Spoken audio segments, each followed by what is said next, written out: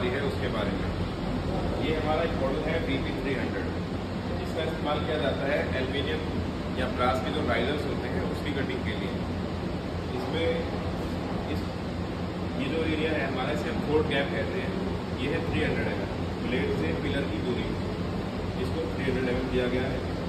और under guide height भी three hundred M है। साथ में इसमें जो बेड है, ये five hundred by five hundred M का बेड है। काफ़ी कॉम्पैक्ट इसका डिज़ाइन है मशीन का। केवल थ्री मीटर का इसमें ब्लेड इस्तेमाल किया जाता है, जो कि काफ़ी इकोनॉमिकल एक तरह से इसकी टूलिंग हो जाती है। सस्ता पड़ता है काफ़ी। दूसरा इसका ये जो कैबिन आप देख रहे हैं, ये सेपरेट कैबिन है मोटर के लिए। हमारी मोटर पुली सिस्टम इस कैबिन के अंदर होता है। तो ये काफ़ी कॉम्पैक्ट हो जाता है और बहुत सेफ़ होता है। कोई डस्ट वगैरह किसी तरह की चीज़ यहाँ पे नहीं आती है ड्यूरिंग द कटिंग अब इसको ऑपरेट करना काफ़ी इजी है। एक स्टार्टर्स में प्रोवाइड करते हैं।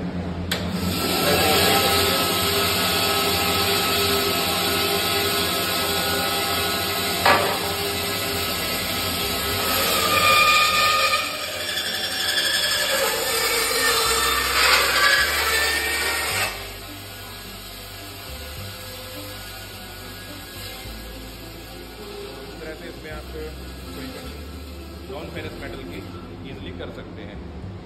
इन मशीन्स को हम केवल, ये मशीन है हमारे फिक्स बेड के साथ में। हम इसमें मूविंग बेड के साथ भी मशीन बनाते हैं इसमें मैनुअली ऑपरेटर पुश करता है और हाइड्रोलिक बेड के साथ बनाते हैं। फिर जो जैसे रिक्वायरमेंट होती है जॉब की, उसके अकॉर्डिंग वो बनती चली जाती है मशीनें पूरा कूलेंट सिस्टम वगैरह लग के भी ये मशीन बनती हैं। लेकिन जॉब के अकॉर्डिंग ही ये मशीनें बनती हैं।